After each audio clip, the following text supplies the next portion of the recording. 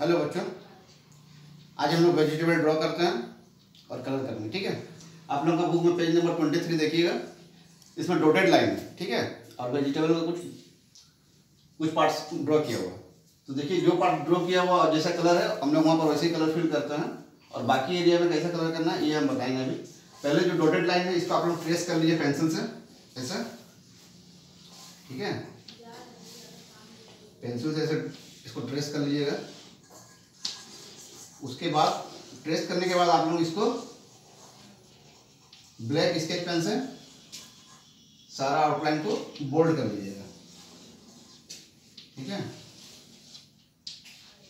ये ट्रेस करने के बाद सारा आउटलाइन को ऐसे बोल्ड कर लीजिएगा अब देखिए कलर कहाँ पर कैसे करना है। यहाँ पर तो ग्रीन पहले से किया हुआ है। यहाँ पर करने का आप लोगों को ज़रूरत नहीं है। ठीक है? ये ये कौन सा वेजिटेबल आप लोग बोलिए तो? ये ब्रिंजल है। ब्रिंजल कैसे कलर का होता है? वायलट कलर का। तो आप लोग यहाँ पर कैसे कलर कीजिएगा? वायलेट कलर ठीक है?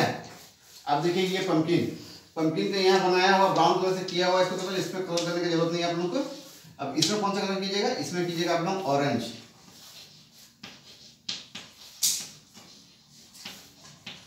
ऑरेंज ठीक है? अब ये देखिए क्या ये क्या बोलिए तो? ये है कैप्सिकम ठीक है? कैप्सिकम कैसा कलर का होता है?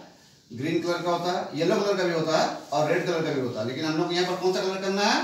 हम लोग यहाँ पर करना है ग्रीन कैसा ग्रीन लाइट ग्रीन ठीक है? कैसा ग्रीन कीजिएगा? लाइट ग्रीन ठीक है?